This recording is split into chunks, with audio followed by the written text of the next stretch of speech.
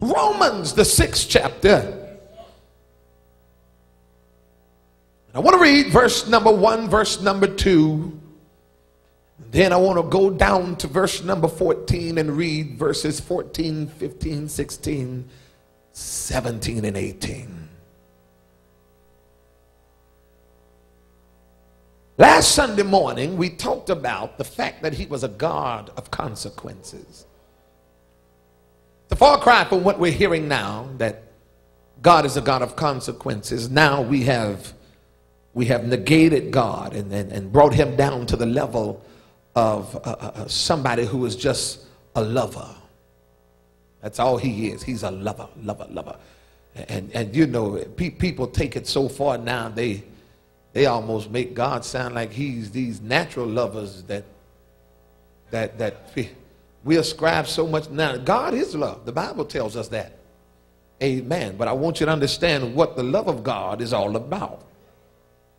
Because even his love necessitates that there are consequences. People say God wouldn't send you to hell. He wouldn't. But he'll let you go there. And you know why he'll let you go there? Because I told you before, if you want to live as if there is no God, then he'll send you somewhere where you don't have to worry about him.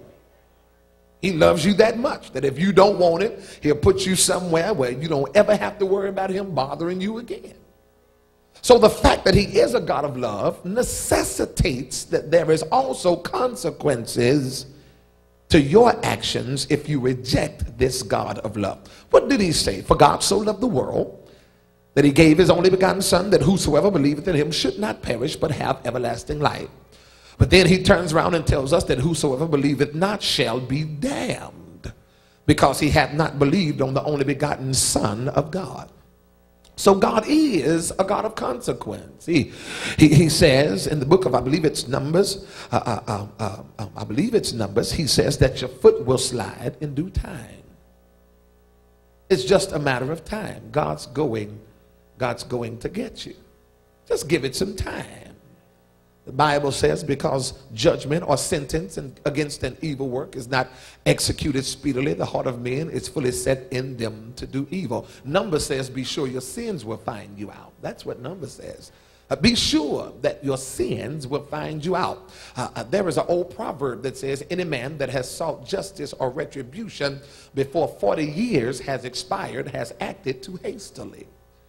God has time on his side.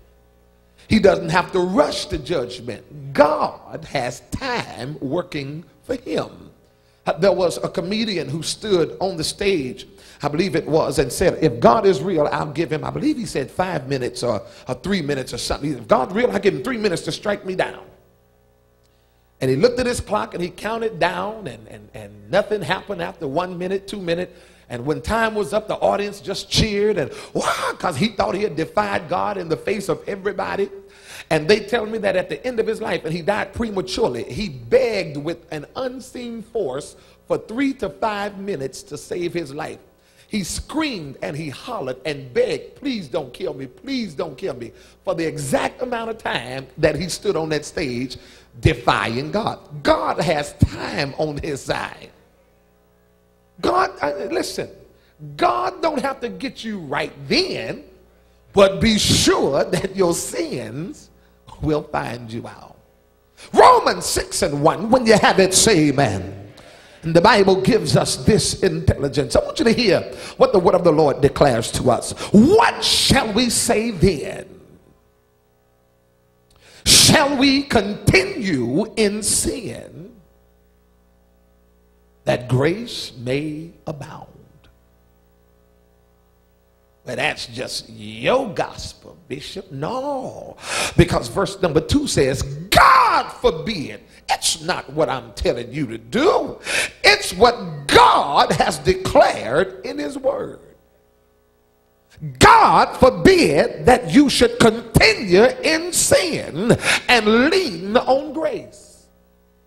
How shall we that are dead to sin live any longer? therein. Verse number 14 For sin shall not have dominion over you. For ye are not under the law, but under grace. Did you hear what he said? Grace doesn't mean you can sin. Grace means sin does not have dominion over you.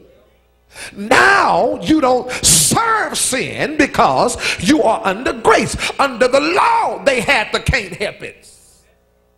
That's the reason why they had to sacrifice continually every year uh, the sacrifice of atonement because the law, although it was good and righteous, it was powerless to give man the ability to live uprightly. But under grace, he has given us a new and living way. And now he says that grace means that you are overcomers. You're not the servant of sin. You are not a slave anymore. You are not under the law, but now you are under grace. We have misunderstood grace and thought grace meant that just because we come to church and, and, and ask the Lord to save us, that that is the end of our responsibility. But that does not end our responsibility. It simply begins a new walk with the Lord. So when we come to the Lord now, that we are coming by grace, somebody say grace. Grace does not give us license to sin, but grace by its very nature gives us power over the sin that used to have us bound. So now it's true that if any man be in Christ, they didn't have that testimony under the law because Christ had not come. But now that Christ has come, died, and was resurrected again, shed his blood for the remission of our sins, now if any man be in Christ, not under the law, but be in Christ, he is a new creature. And a new creature is not bound by its old way of living. Y'all done got quiet. That's all right. I've got my work clothes on tonight. Amen. He says, What then shall we sin? Because we are not under the law, but grace. Again, he says, God forbid. Look at what he says. Know ye not that to whom ye yield your servants to obey, his servants ye are to whom ye obey, whether of sin unto death or of obedience unto righteousness. So that means you're not righteous if you are not walking in obedience to God's word. Mm. Boy, I tell you, it's not what we're hearing now. You live like you want to live, do what you want to do. Say what you want to say and play how you want to play. I told them that's the Addams family. That ain't the children of God. That ain't God's family. Because God's got a way and that way is holy. Y'all ain't saying on here. How do you know? Isaiah uh, 30, he says, and a highway shall be there. And a way, and it shall be called the way of holiness. Look at somebody and just say holiness. Now, he said that is God's way. Uh, hear what he says. He says, but God be thanked. Thank you, Lord. That ye were the servants of sin, but ye have obeyed from the heart that form of doctrine which was delivered unto you. You heard the gospel. You obeyed that form of doctrine that was delivered unto you. And then he says, Hey, being then made free from sin, uh, ye became the servants of righteousness.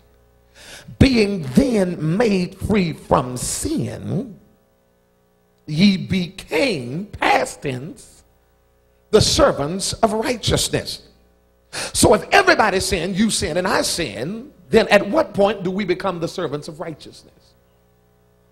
Because I'm not a servant of righteousness until after I've been made free from sin. I'm not in no process. Y'all ain't saying that. Look at the church getting quiet. Now listen, this is a sanctified church. And if it ain't, I'm going to preach until you get sanctified. I'm not in no process of being made free from sin because I'm not a servant of righteousness until the process has been completed. Being then made free from sin, ye became past tense now the servant of righteousness. Why? Because no man can serve two masters and to whom ye yield your members servants to obey. That's whose servant you are. So you can't be serving sin and a servant of righteousness at the same time. Something has got to act upon you that changes your very life. Mm-hmm. look at somebody help me announce this text. Tell them neighbor grace does not erase the consequences Grace does not erase the consequences. Grace rather gives us the opportunity to go in the other direction and live according to the standards of God. We are living in a day and time, my brothers and sisters, when men and women all over the world are doing what I called a few years ago taking advantage of grace. Look at somebody and tell them, neighbor, don't take advantage of grace. Amen. Amen. Don't take advantage of grace because grace might run out on you. Uh-huh. And what has happened now is that we have taken grace as an opportunity to do what we wanted to do. But, family of God, God has a standard by which He governs His people. And God says, if you will not live by my standard, then you are none of mine. You, you are not a child of God. You're not a son or a daughter of God if you do not live according to the standard of God. Uh, y'all ain't saying, and I'm going to preach here tonight. Amen. So, what has happened over the last few years is that we have gotten away from the mandate of God and we have uh, gotten into what this uh, Christian uh, day that we're in now would call the option of living holy. Now everybody has options. I know what God says, but that's not what I want to do right now. I'll take what's behind door number two because I have options. No, it's not like that, brothers and sisters. When it comes down to God, you're either going to do it God's way or you're not his child at all. And look at the church getting quiet. Could I preach here somebody? Amen. Either it's going to be God's way or no way at all. I told you God don't come in to take orders and God don't come into your life to share you with nobody and with nothing. That's the reason why he says, let the ungodly man forsake his ways. And after you have forsaken your ways, then he turns around and said, if you're going to come after me, not only do you have to forsake your ways, but he says you also have to deny yourself. Look at y'all. I'm going to preach it tonight. Amen. So God says there is a mandate that I have placed over the body of Christ. If you will call yourself by the name of God, he said, let everyone that's going to do that depart from iniquity. Look at somebody, pull on them and tell them that means come all the way out. Hey man, that don't mean just be saved from your neck up. That means come all the way out of sin. See what we have now, we have people that want to pick and choose their areas of deliverance.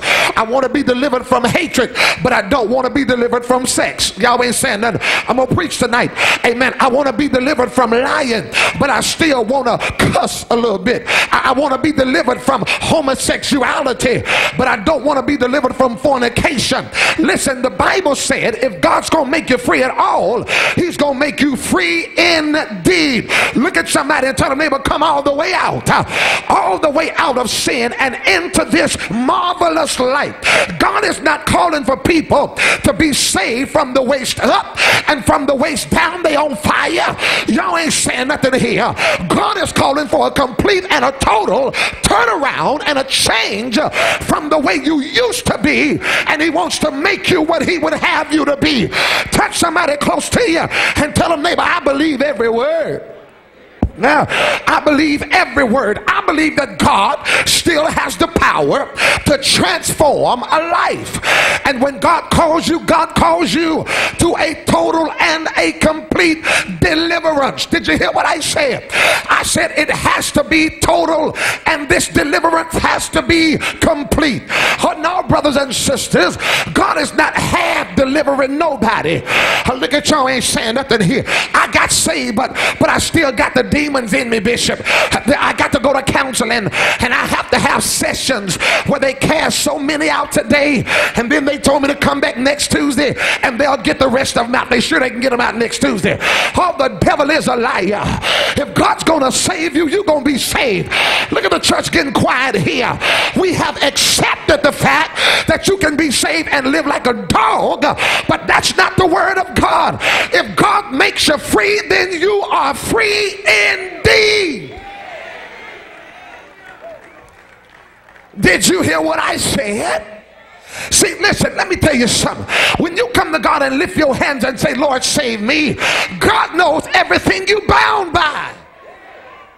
So what God does, God ties all of your vices together and kicks them out of your life. Y'all ain't saying nothing here.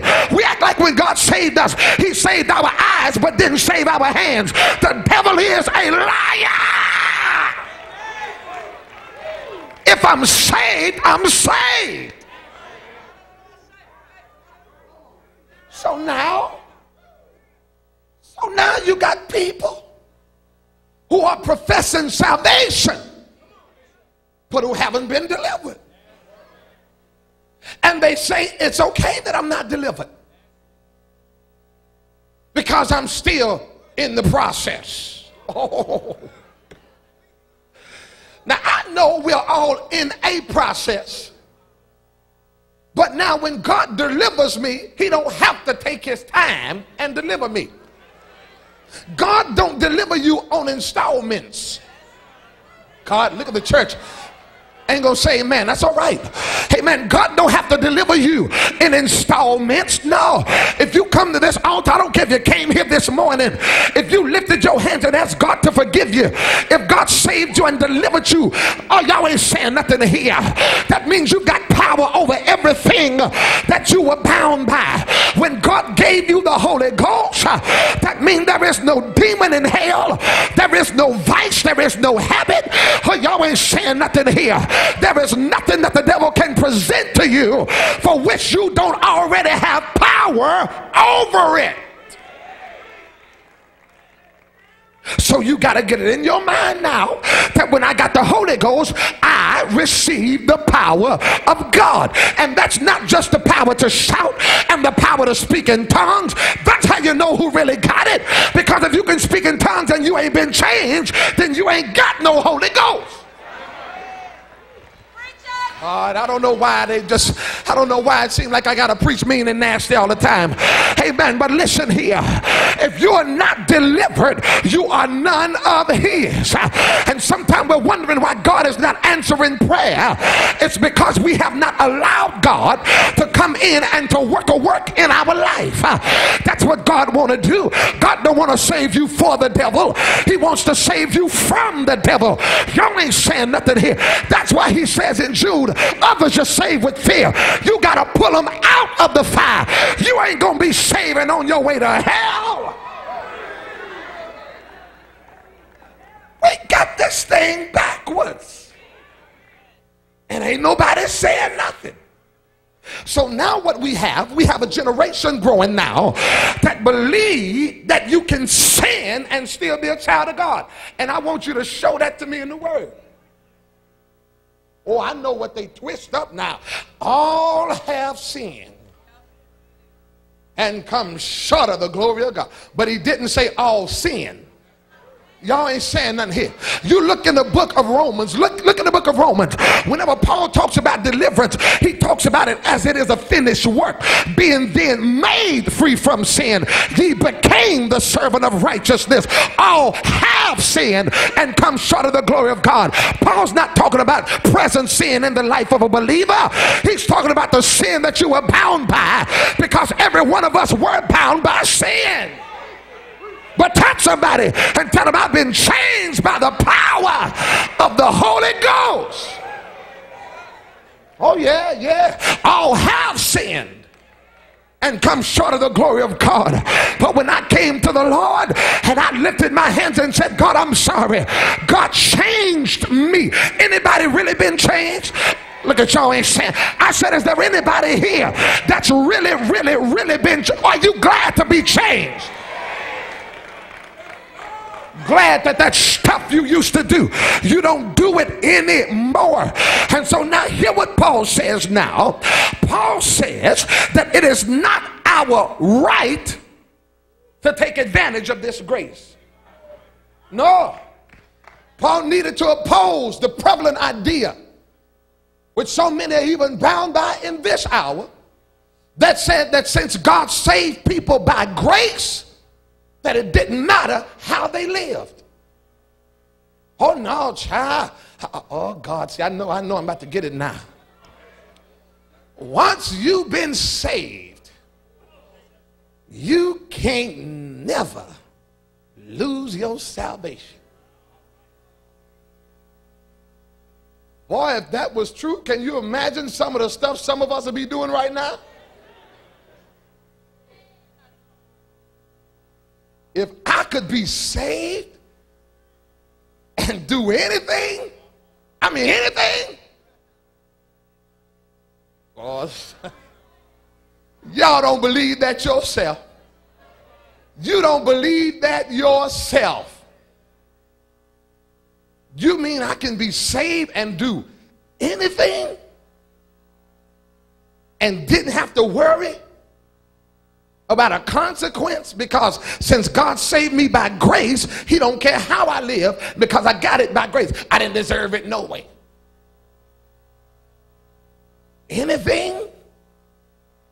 Now some places need to stop preaching that kind of gospel. Because folk will be out on the parking lot while we in service taking rims off our cars and everything then come right back in here and sit next to us and shout and act like they going to heaven. Look at y'all ain't saying nothing here. You don't really believe people can do anything and be saved, do you? It don't matter how you live. So if some man touched your little boy, you could just over. I, I know you better be glad I'm saved and you saved too. All the devil is a lie. Oh no, no, no. Look at y'all ain't saying nothing here. You mean I can do anything and be saved? That's the idea that's passing through this world today. That when God saved you, God didn't care how you lived after that point. So once you get saved, you can do whatever you want to do because once you in, you ain't never out. That's not what the Bible says. Jesus said, if you continue in my word, look at y'all getting quiet. I'm going to preach and I don't care if you get mad. Hey man, Jesus said it's not an automatic thing. He said, but you got to take up your cross and follow me every day. You don't take a vacation from being a child of God. You don't take a weekend off. If you're a child of God, you're one Sunday, Monday, Tuesday, Wednesday. Oh, y'all ain't saying nothing here. Thursday, Friday, Saturday, and twice on Sunday. Look at somebody and tell them, neighbor, if you're saved, you're saved. I don't take time off from being a child. Child, you almost made me lay my salvation down for a minute. You better keep it up because you don't know if you lay it down if you'll be able to pick it back up again. Look at y'all ain't saying nothing here. Child, I'm going to step out of my Christianity and cuss you out. Oh, no, you can't do that as a child of God. Not if you've been changed and your old man is really dead. Now, now, now, if you can step into that old man and cuss at a moment's notice, that old man ain't dead. Look at y'all ain't saying nothing here. I ain't talking about stuff the devil put in your mind, but now if you cussing folk out in your mind and just saying, hmm, better be glad that didn't come out of my mouth. Oh no, no. That old man ain't dead yet. You know how you know when that old man is dead? When they can hit him and he don't respond. Y'all ain't saying that here. How do you know when somebody dead? When you touch them and there is no response. When there is no movement, no life in them, no breath in them, then you know that old man is dead. Some of us need to make sure that old man is dead because every now and then his fingers start moving. Uh, y'all ain't saying nothing here. Look at the church getting quiet here. Every now and then he start talking. No, you better make sure that old man is dead or else you are none of his. Oh, I know they don't preach this, especially not on TV. But now you can't argue with the word. You, yeah, people can argue with me. You know, I told you a few months ago, somebody sent me somewhere, somebody wrote an article about me and Apostle Murray, and they say they preach that doctrine. They almost like two Hitlers in the pulpit. I said, Well, great God, but you can't argue with the word. Call me what you want to call me. I don't care what you call me. I just want to hear God call me a good and faithful servant. So I'm going to tell you what God said. Paul had to challenge. Antinomianism is what this is called. When you can do what you want to do and still enjoy salvation by grace. The idea that people could live any way they chose to and still be saved was disgusting to Paul. So Paul had to deal with that. And Paul now has to open up their eyes so that they can see that grace is not a license or an opportunity to sin. Don't that sound like permission to sin? If you can do what you want to do because you covered by grace. That sounds like permission. And Jesus did not come here to die to give us permission to live. Oh, y'all ain't nothing here. Worse than he did, than we did before he came. Hear what Paul says now.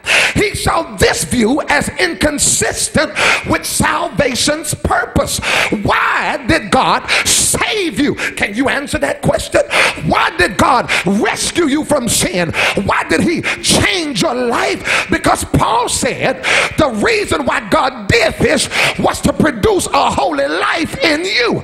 That's why God saved you, not so you can sin without consequence, but so that you would in turn live a holy life. God is looking for a life of holiness out of you, not excuses. You are saved to live a holy life. Look at somebody and tell a neighbor, God saved you so you could live holy not so you could do what you wanted to do. God is producing holiness in the lives of his people.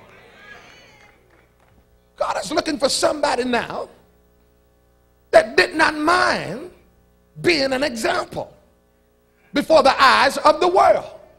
How can you be an example to the world when you look like them? When you talk like them? When you go where they go and do what they do.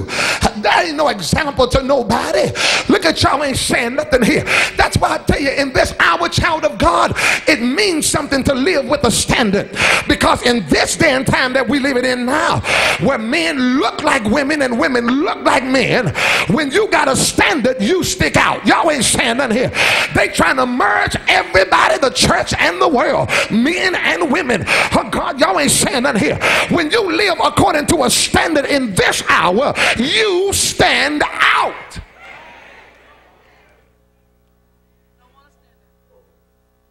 What gets me? Now understand when a woman dresses holy, when a woman dresses holy, people will come up to her in the store and say, ma'am, listen, what church you go to? Because you just look like a sanctified. I don't went up to people, ma'am, listen, what church you go to? Because you just look sanctified. It, it's something on you that makes you look sanctified. And nine times out of ten, well, ten times out of ten, they'll tell me what church they go to. I tell them, I know you went to somebody's church. But what gets me is when they can walk up to a man and say, You a man of God.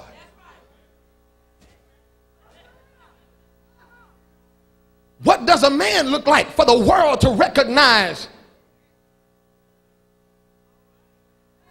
that he's a man of God?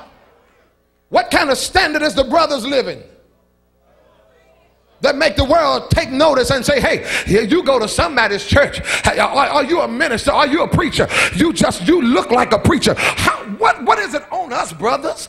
That man, you ain't got on no suit, but they see holiness on you. You know why? Because you living according to a higher standard. Sometimes you don't even see what makes you different, oh God, but it's the standard that you are living according to that will make the world stand up and take notice to you. And you know that means something to me when somebody comes up and say, "Aren't you a preacher? Are you a are you a child of God? Are you saved? Do you go to church?" Yes, I go to church. That means something to me. You know what? I'd rather them do that than to come up thinking they can cuss just because I look like they do. Oh, I've had people cuss and, and, look around and see me there. Oh, I'm sorry. Uh, oh, I'm sorry. I didn't mean to say that. Y'all ain't saying nothing here. But when we live in that type of life and living according to the world so that the world feels comfortable around us, something ain't right. He said, I have called you to live a holy life. Salvation should produce holiness in your life. If you saved, salvation should have brought you to the place to where now your life is characterized by holiness and not by compromise. Which means now, I don't care how quiet y'all get, let me come back over here. Which means now you've got to live on a higher level. Ain't no more excuses now. And I hear, you know, all the time. I told you last Sunday, you see bumper stickers going down the road, and the devil just laughs. I know he does. And I know the world feels so comfortable when they see it. Christians aren't perfect, they're just forgiven. Hmm. Okay? not perfect. I'm just forgiven. Christians aren't sinless, they just sin less. What? Where, where did we come up with that? Because the Bible said, He that commits sin is of the devil. Because the devil sinned from the beginning. So, how can a Christian sin less and be of God? Look at y'all ain't sinning. I asked you last Sunday, Jesus looked at that woman that was caught and he says, Woman, go and sin no more. Can you imagine if he let her go and say, Look, I know they caught you with somebody else's husband, but when you go back, just go and sin less.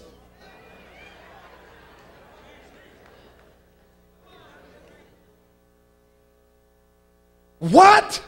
So would you tell a rapist You can't be sinless, just sin less. Would you tell a child molester? You can't be sinless. Just don't touch as many little kids.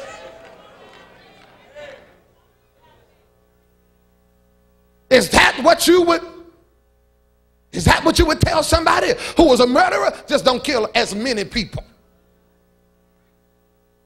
Jesus said, Go and sin no more. If not, then explain to me why he came here in the first place. If he did not come to deliver you from sin, why would he come in the beginning? Is a lie from the devil. And some of us have bid it hook, line, and sinker. Hear this now. The term conversion refers to the human response to the gospel. While regeneration is God's creation of a new nature in the one who believes. If you have been converted at all, it requires, hear this now, the total commitment of the total personality, the intellect, the emotion, and the will. It, oh, y'all ain't saying nothing here. It involves every area of your personality, your intellect, mm-hmm, your emotion, and your will. And can I say this? You cannot serve God and give your mind to the devil. Your mind has got to speak. Oh, Lord, y'all ain't standing here. Stayed on the Lord. You know, you got a bunch of Christians now who trying to have emotional affairs with the world. Hard look at them getting quiet. I had to walk back here so I didn't see nobody's reaction. Hey man, I don't want to look at nobody funny after church. Hey man, it's like a man being married. Mm-hmm, mm-hmm. And every time he turns around, he's got another woman on his mind. Oh, we ain't done nothing. Oh, no, we ain't never went out. But you having an emotional affair. Oh, when you with your wife, you're thinking about somebody else and, and, and how much better it would be if this was the woman sitting across the table from you. And that's how some Christians are now. We sitting right up in church having emotional affairs with the world.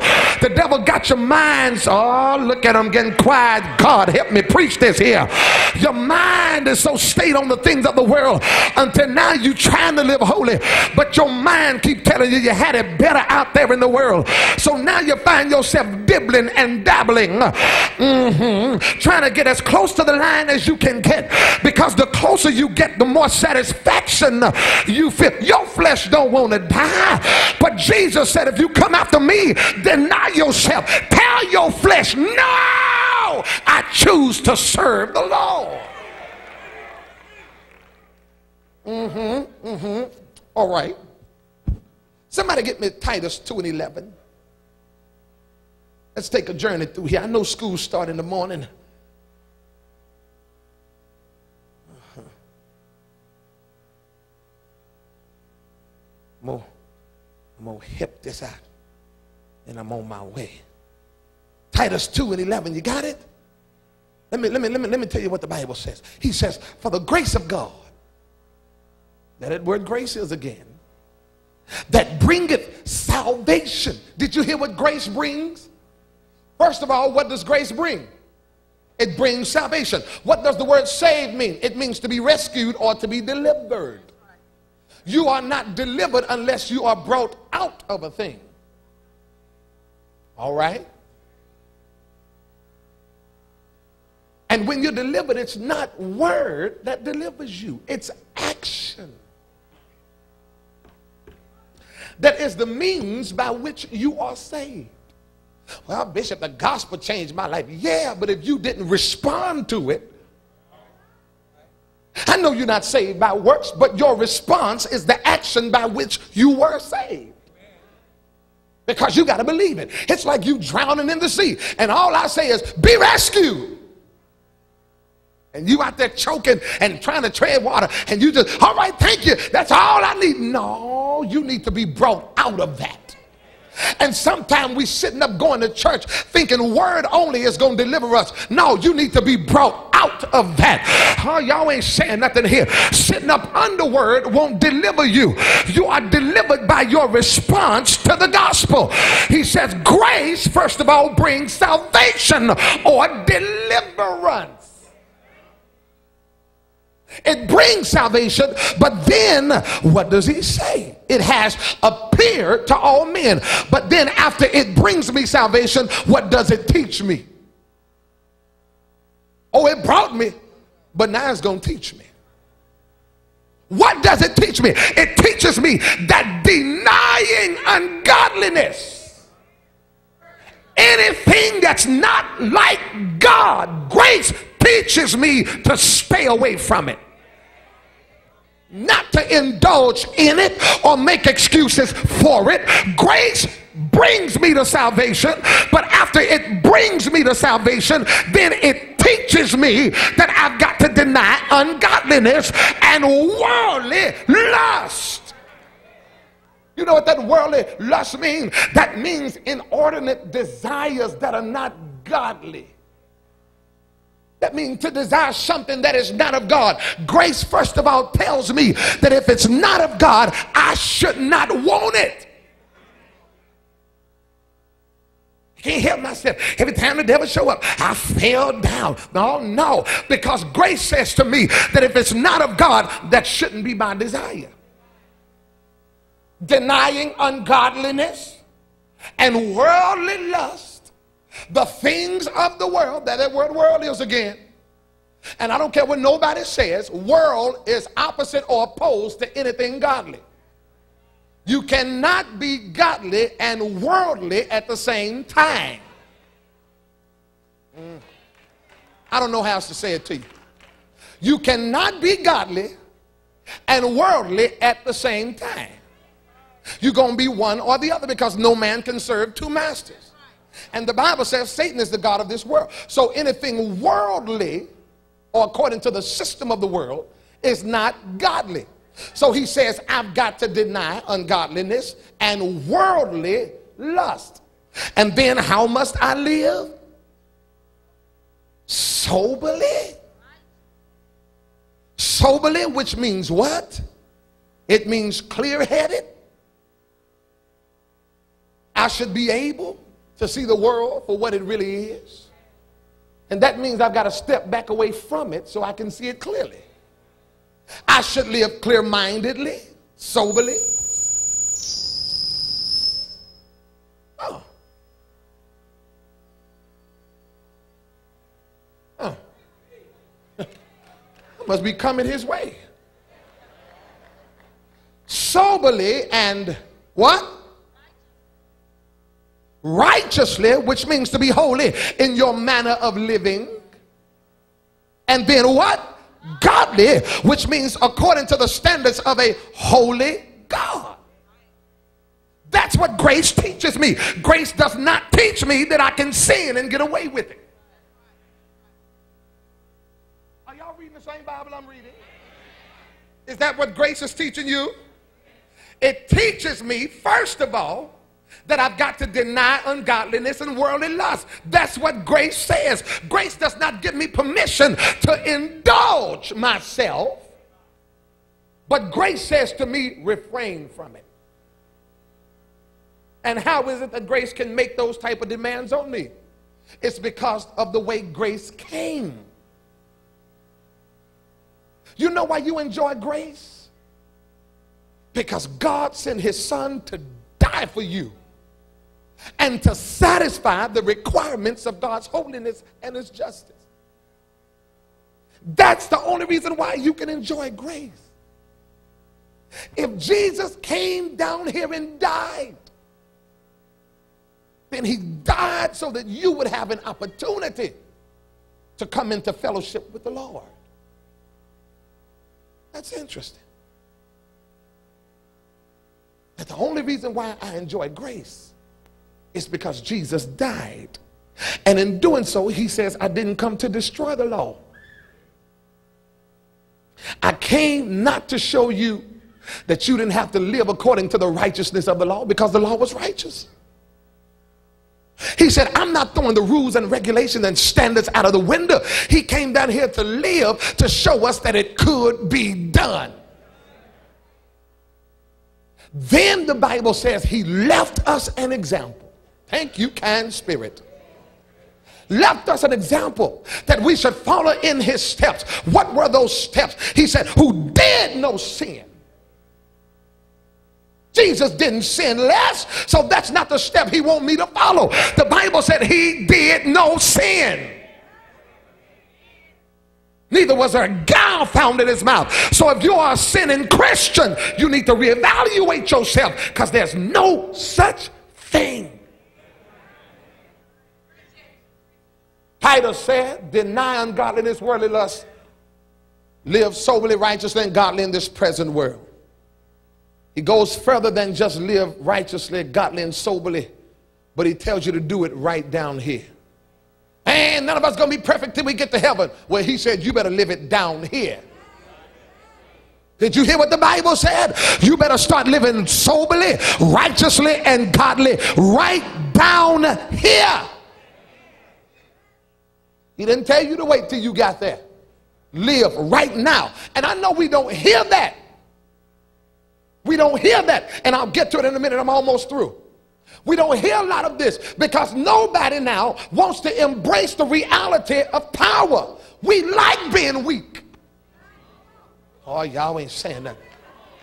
This generation loves being weak and they use it as a crutch. Y'all ain't saying nothing here. The, oh, I can't help it. Child, I just fell down. We love being weak when God came to make us strong.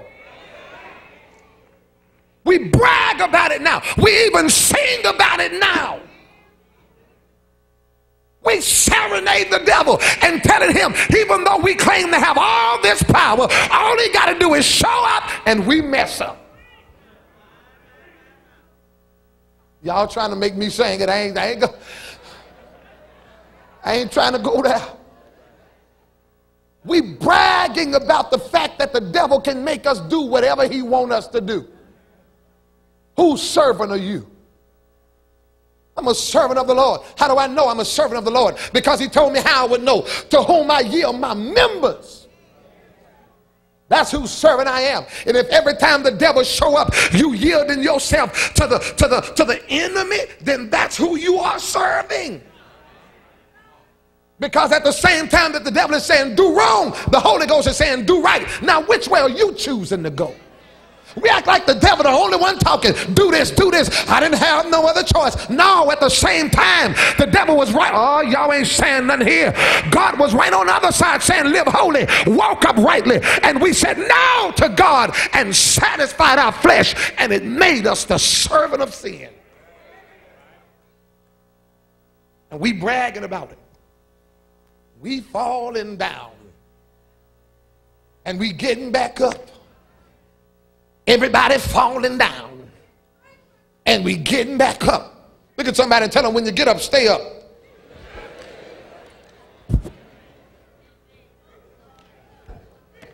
Why the church getting quiet here? And the church don't have no better sense than to believe anything people say. We love being weak and ignorant. But the Bible tells me now unto him that is able to keep me from falling. Don't tell me I have to fall into sin. But the Bible said, though a just man fall seven times, he'll get back up. He didn't mean fall into sin. That ain't what the Bible meant.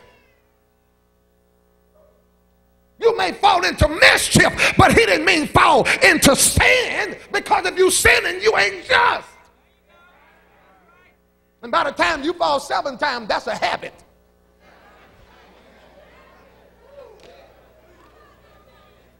So don't tell me he's talking about into sin. He don't mean though you fall into sin seven times, you get back up because he told you not to sin in the first place. He meant fall into mischief or into calamity. The devil afflicts you and the doctors tell you you got cancer that may knock you down. But get back up because you're just. And the just shall live by what? Get up and believe God. Circumstances may knock you down, but you just live by faith. Get up and believe God. He don't mean though you fall into sin seven times. We just believe anything. We just we just believe everything. Come on now, study your scripture. He said he is able to keep you from what? So don't tell me all of us gonna fall down when we serving the God that's able to keep us from falling. You know what the Bible said? He's holding this world together by the word of his power, but he can't keep you from falling.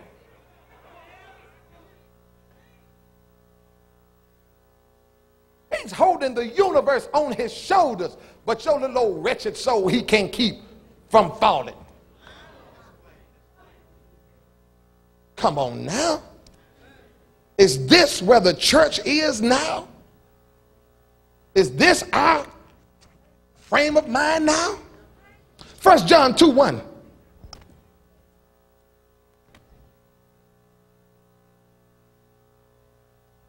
First John chapter number 2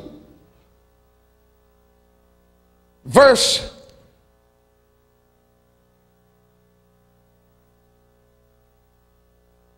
number one. You have it? What does the Bible say? My little children, these things I write unto you, not that you sin less, but that ye sin not. Did you hear that? He said, I'm writing this unto you, telling you not to sin. And for a long time, I would hear people say, and the Bible says, but if any man sin, it don't say no but.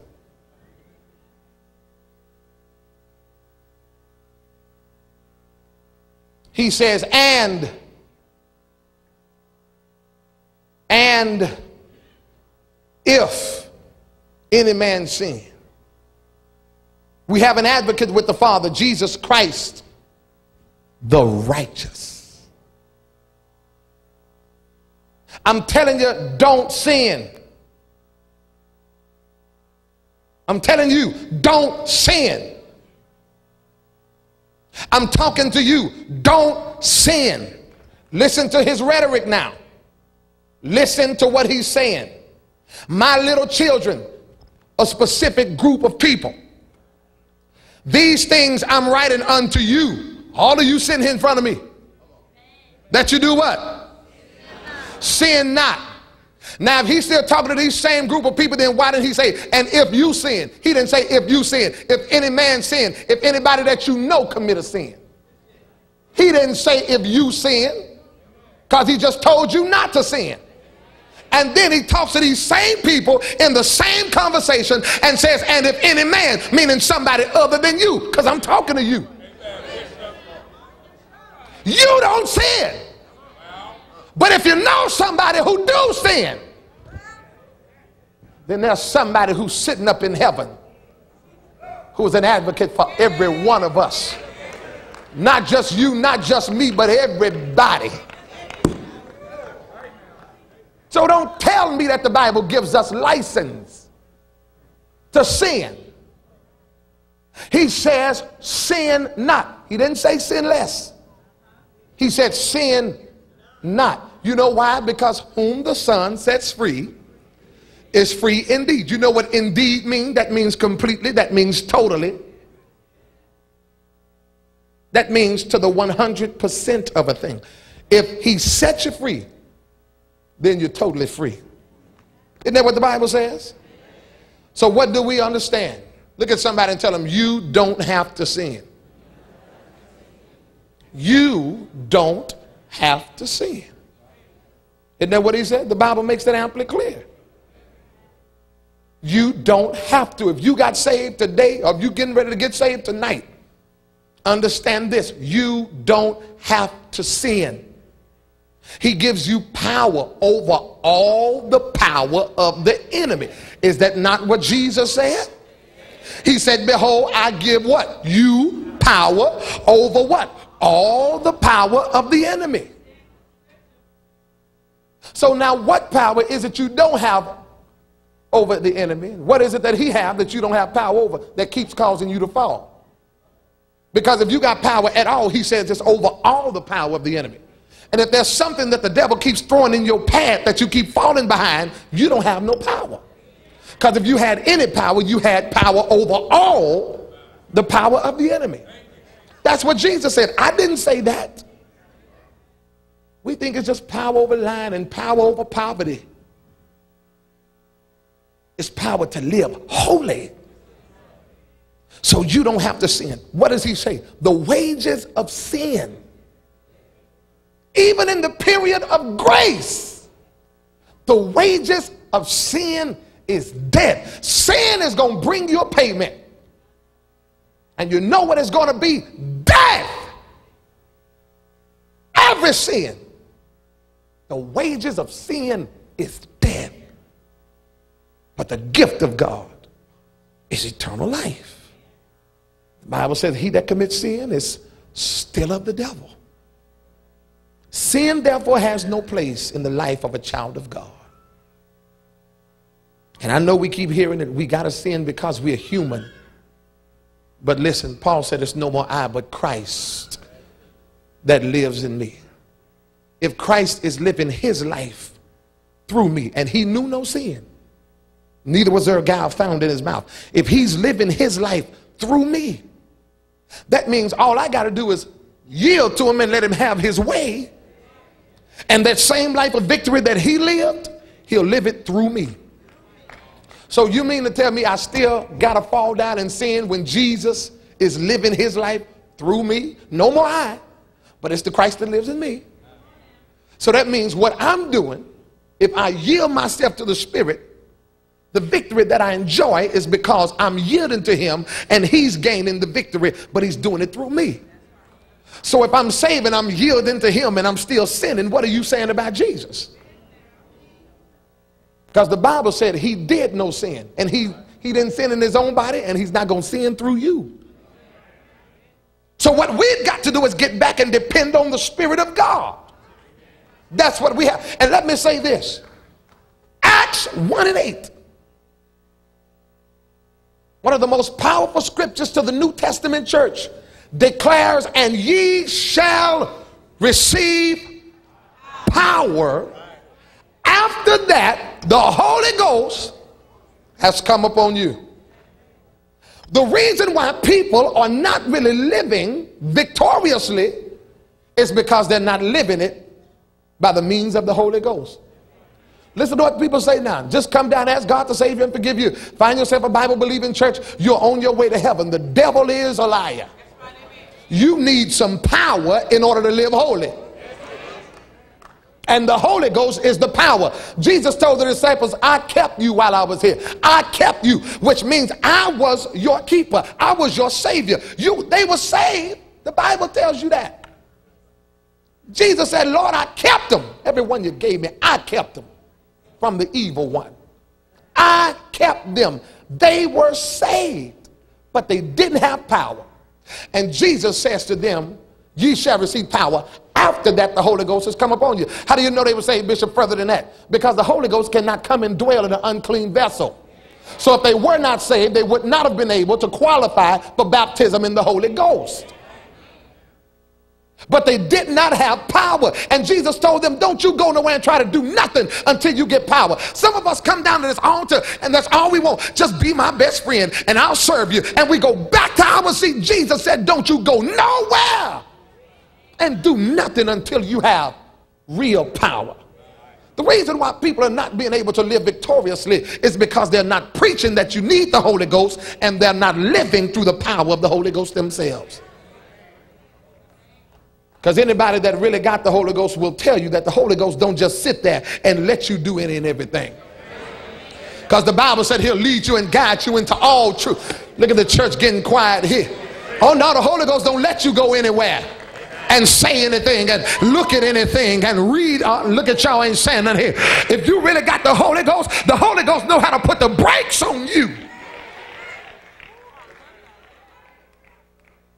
Some of you would have done a whole lot of stuff, but there was a voice in the back of your head saying, This is not what I have ordained for you. And if you yield yourself to that voice and live according to the Spirit, then you won't fulfill the lust of your flesh. They can't live according to the Spirit if they don't have the Spirit, and they can't have it if they don't preach it. So it's time now for the church to get back to preaching the Holy Ghost and tell him that he's able to keep you from sin. He's able to keep you from wrongdoing because sin still has consequences. And I know we're under grace, and I thank God for grace. But grace does not erase the consequences. The wages of sin is still death. He that commits sin is still of the devil. Grace does not erase the consequences. Salvation frees us from it. How do I know I'm saved? When I live according to the new and living way. Brothers and sisters, God is looking for life out of you.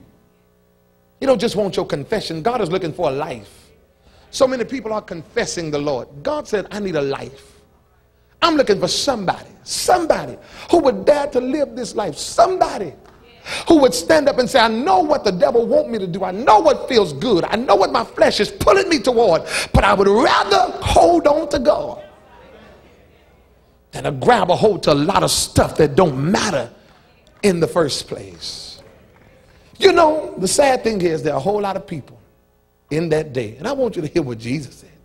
He said it's going to be a sad day because people are going to be coming up saying, Lord, I know my name on the list because I prophesied. Do you know how black that scripture is and how dark that day is going to be? When people run up to the Lord thinking they really on their way into the kingdom and, ah, man, I'm going to be eating grapes and pomegranates and I'm going to be swimming in that crystal clear river. I'm going to have two wings that cover my face. And what did the Bible tell you you was going to have wings?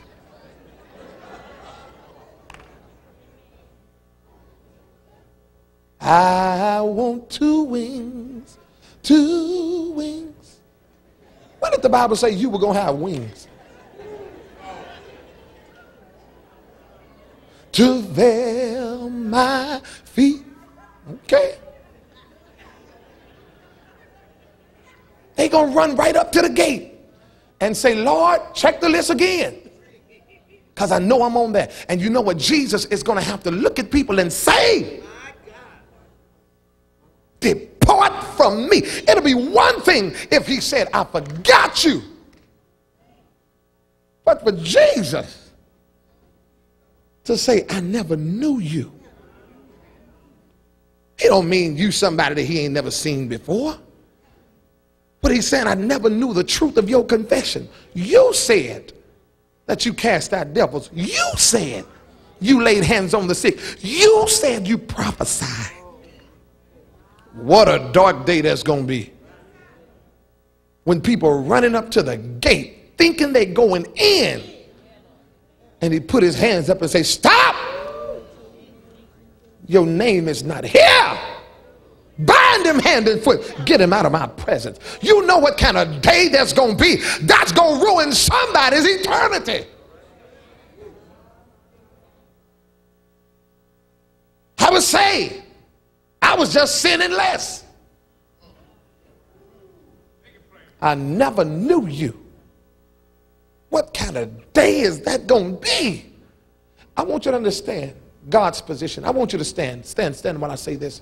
I want you to just, just hear what I'm saying. I want you to realize what kind of day that's going to be. Understand what kind of day that's going to be when the world that God loved so much that he gave his only begotten son, this world that he loved so much that he thought to redeem them with the blood of his only son, that world that he cared so much for, that he, according to the Bible, gave us his only begotten son. He didn't even withhold his own son in an effort to save you and me. That's how much he loved the world, that he gave his only begotten son, that whosoever believeth on him should not perish but have everlasting life. But that's going to be the day when God has got to look at the world that he loves so much and then say to them, Depart from me. Can you imagine how that's going to pull on heaven? when God, who loved us so much, made us made such a way that all we had to do was repent and live holy. And then he has to look at the world that he wanted to save, that he gave everything he had for, and then have to say to that world, Depart from me. What is that going to do to the heart of God? To have to look at people, men and women, boys and girls, who he loves so much. Loved them more than they could ever love themselves, but he has to look at them and tell them, Depart from me. That's going to be a terrible day. That's going to be a terrible day. And a lot of them will say to him, Lord, I know, I just didn't think it was possible to live holy but it's in the Word. I didn't read you nothing that you can't read for yourself. It's there. And that's how we'll have to make it in by every word of God. I want every head bowed and every eye closed.